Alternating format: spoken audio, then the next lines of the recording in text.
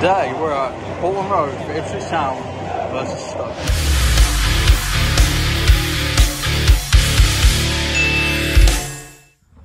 Good morning legends. Welcome back to the channel, it's your boy Link and Ipswich Town that they play Stoke. First league home game of the season. It is NWO sold out and um, the weather is beautiful as you can see and um, yeah we're going to watch football but England ladies play this morning so because of that I'm now going to the shop to get something to eat before I go out. Because I'm going to go watch the England ladies game down the pub so um, I need to eat something first because it's a weird time it's on like 11 half 11 so yeah let's go to the shop. Coral has prime in the meal deal. That is a win isn't it it was so busy in there it's not even like funny. And also although they have prime it's 250 instead of 199 so like tesco's is 199 that's 250 but it's cold for you isn't also i currently sit 15th of 20 in the links legends fantasy league. I know there's only been one game and that was man city. It's not fun but also shout out to harry who triple captained Haaland. What a ballsy move for week one to just like stick yourself in the lead and then try and stay there, I guess. I respect it. Also, shout out to Jimmy Barnes with Hugo Lloris in goal. What is that about? But I don't think he really understands the rules. But um, his channel's brilliant. If you like music and stuff and Funko Pops, go check my boy Jimmy out because he's a good laugh. But yeah, it is time for me to go breakfast. So I'm drinking Red Bull and Jack Daniels because I'm very tired. And we're watching um, the England ladies. So we've just left the pub. England women won um, 2-1. It was quite a good game actually for a women's game. Um, I do try and watch a bit of women's football, but it's not as good, but the standards get better like every week basically, which is like every month, every year. So it's good to see it improve, but um, it's good for England to win. Arsenal winning 2-0 everyone that scored isn't in my fantasy team, so that's not good. Need Havertz to score now, but yeah, we're gonna go get some food somewhere because we're starving.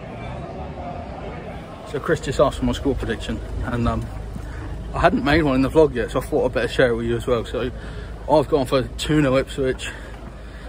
I'm gonna go for two second half goals from Freddie Ladapo. you might have heard Chris laugh in the background there. And um, Chris has gone for two on Ipswich. Have you got goal scorers, Chris? No. So, Freddie Ladapo will score two in Chris's prediction as well. So the pre-match meal was a Greggs because I wanted pizza. So, had to be done. On our way through the car park into the stadium now. It's getting exciting now. There's a queue to get into the club store. I've only ever seen that at Anfield, so Ipswich are massive.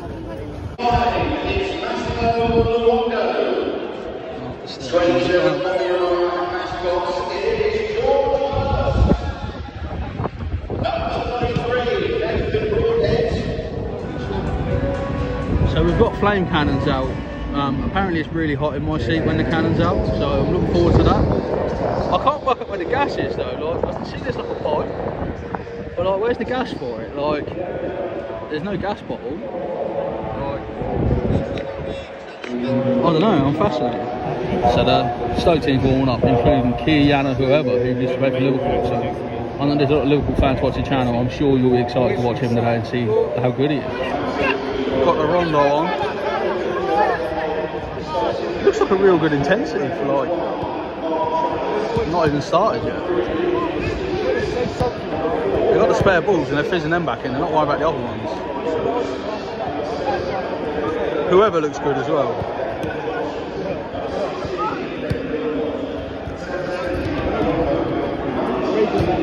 I got the ball. I just want to give a shout out to the Stoke fans. Look at this. Look at all that. Like, I think they've sold out their allocation maybe, like 3,000 or almost. Really impressive, you know. It's a long way to go to Stoke. So, respect to them for that. And also, I could hear them as I was walking to the game, which you got to, you know, that's always a good sign. You hear the away fans as well. So you'll see as well, they've moved the singing section right up there. So all the sort of singing Ipswich fans are up there now instead of in probably at the other end, which is an interesting change to try and hopefully get the atmosphere going right across the stadium. The team is about to come out, and this place is buzzing, but especially up there, so loud, so loud. The flame cannon's got a little warning sign on now because it's going to burn soon. Honestly, they're having the best time ever up there.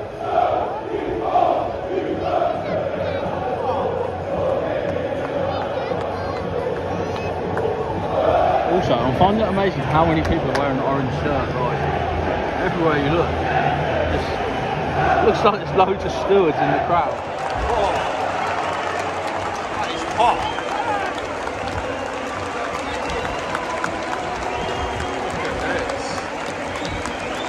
Over the full road. That is so hot.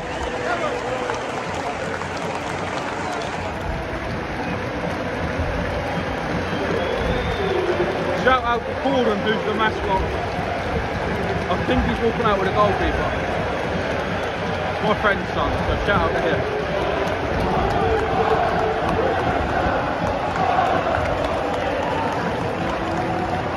Stoke fans singing what the fucking hell is that about the old fire cannon. I really like it. Just look how into it they are. Hoever is starting, number 17. Crazy to think he was Trent's understudy once upon a time, you know?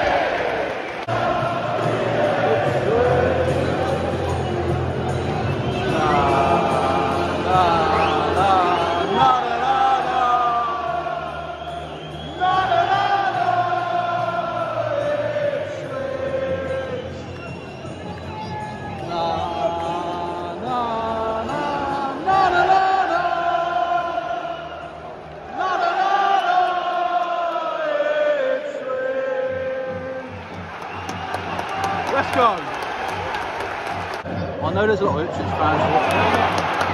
Oh, he's on his side.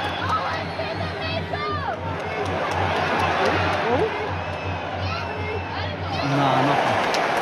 As I was saying, um, I know there's a lot of Ipswich fans watching, so I don't want to go on about Hoever too much, but I know Liverpool fans watch this channel a lot as well.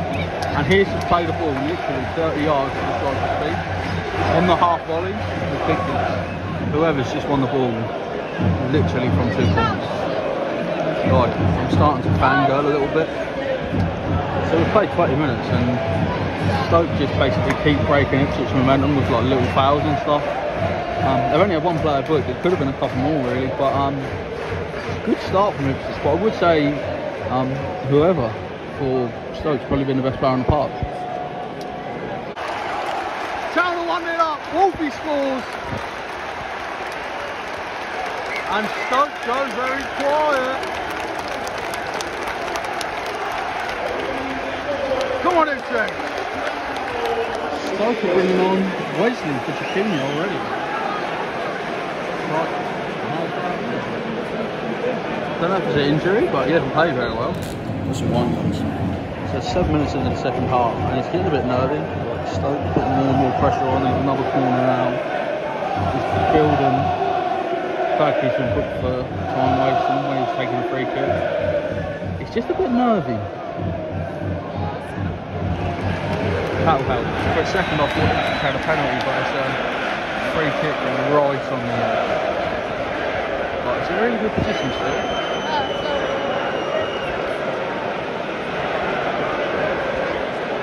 it would really take pressure off to get another goal.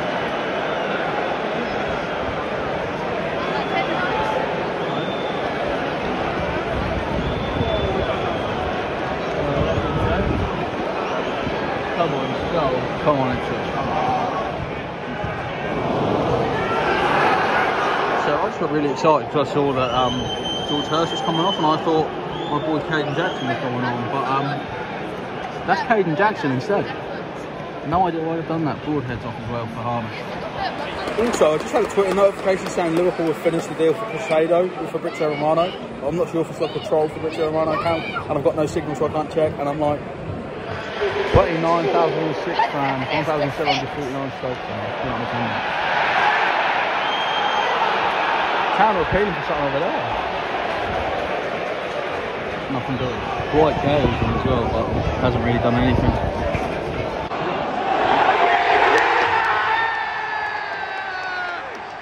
That's 2 0. That's the game, I think. What a goal. Some of the Stoke fans are going home.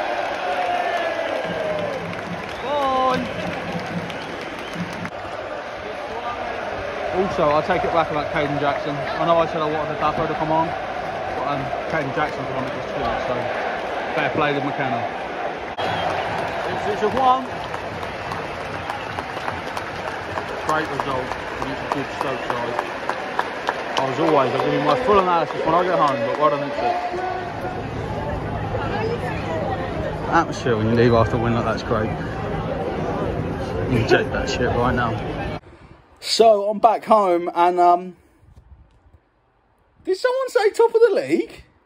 Ipswich top of the league. Ipswich, Ipswich top of the league. Automatic promotions coming. Um, I don't know. I hope so. I did. I predicted they'll finish in the top four. Uh, probably fourth, but it looked good. You know, we made Stoke look look. You know, not average. I think that's probably a stretch, but we made Stoke look um, like they weren't special when they are a decent championship side, a well-established championship side at that level. Um, obviously, bet Sunderland the week before. I think it was another great performance, and also bringing on Kayden Jackson for that pacing behind was absolutely the right decision. In the stadium, I was like, I got excited. I thought my mate Fred was coming on, but bringing on Kayden Jackson for that pacing behind as Stoke come forward, the pacing behind to use that space was just the right idea. And that's why Harness come on, I assume, as well for Broadhead, just for that little bit of extra legs, and also Hutchinson at the end. Um, but yeah, it was absolutely brilliant. Um, Hladky, what a player he was in goal. He didn't make no mistakes. He made some good saves. Um, his distribution was a bit better this week, a bit more confident, not as bad as he was last week. Um, yeah, I just think honestly, it was all round really good from Ipswich Town. Um, as a Liverpool fan, as you all know, I really enjoyed watching Ki-Jana, Hoever. Um, he, he, was, he is, you could see the class he's got. Um, he's still a young player, and I'm sure he will be back in the Premier League one day. I'm absolutely like confident of that. Um, Morsy got man of the match in the stadium. I would give it to Wolfie because he was relentless in keeping the clean sheet. He was really good building up from the back, and he scored the opening goal. So, like, what more can you ask from a centre back than that? Um, so for me, man of the match was Wolfie. But as always, put your comment down below with who was man of the match. And um, if anyone wants to comment, Ki-Jana, Hoever, I'm not going to argue with you. And it's just it's just fun, you know. Obviously, I'm a Liverpool fan, and I, I love Ipswich. I have Ipswich season ticket, but if you cut me, I bleed red, you know.